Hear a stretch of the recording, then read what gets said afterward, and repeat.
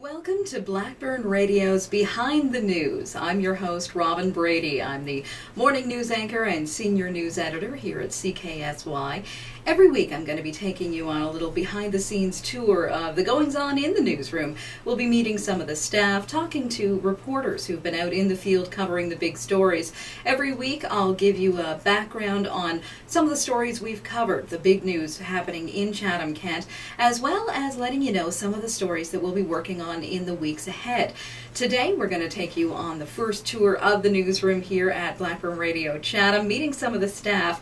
And just because it's new, we're also going to have you uh, take a sneak peek at the new studio, hopefully.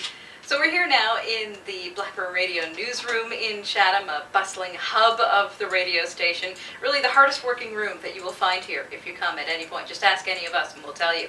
I am joined by Trevor Thompson, who is one of our main reporters here. We don't really have beat reporters in at the radio station, but just sort of as assignments come, they're handed out to our pool of reporters. But Trev does, for the most case, cover I would the, say, the municipal council meetings. And uh, Trev, you were at this week's meeting, and uh, a pretty lengthy meeting with a lot of heavy issues discussed. It was a really long one, uh, four hours long. They only got to three, three items. They had the three big ones, obviously, the Ursuline sisters. Mhm.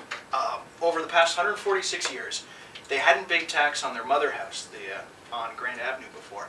They built a new one out on McNaughton, and they got a tax bill.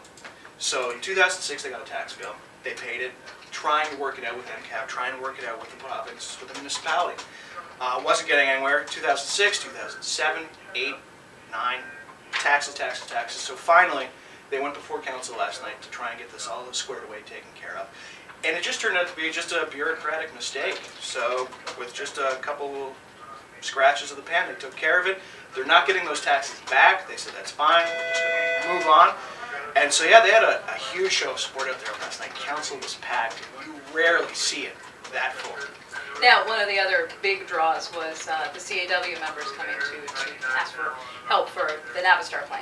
Yeah, the Navistar thing, and they marched from the CAW Hall in Merritt out to uh, out to City Hall at the Civic Center down King Street.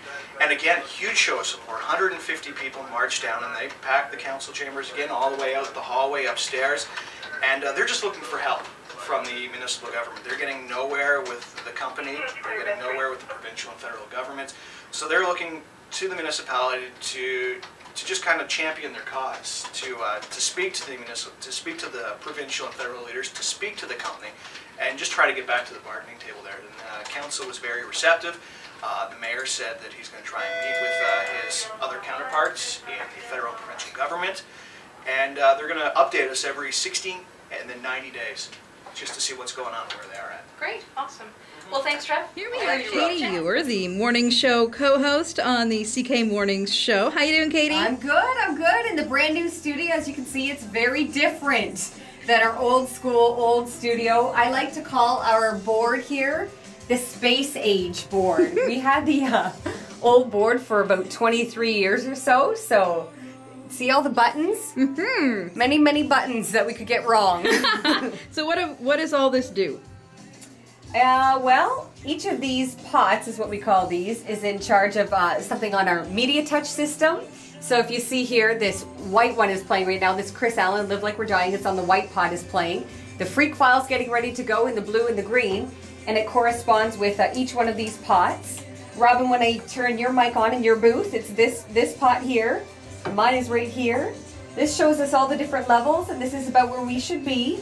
If it gets up too high in the red, it's no good. It sounds bad. And we're getting ready for the Freak File. Great. Lots of good stuff to uh, look forward to. And loving the new studio. Not quite sure about the chair. We're supposed to stand, but they gave us a chair as an alternative, so haven't decided which one I'm going to go with yet. I think it's going to be to each his own. Chris will be a stander.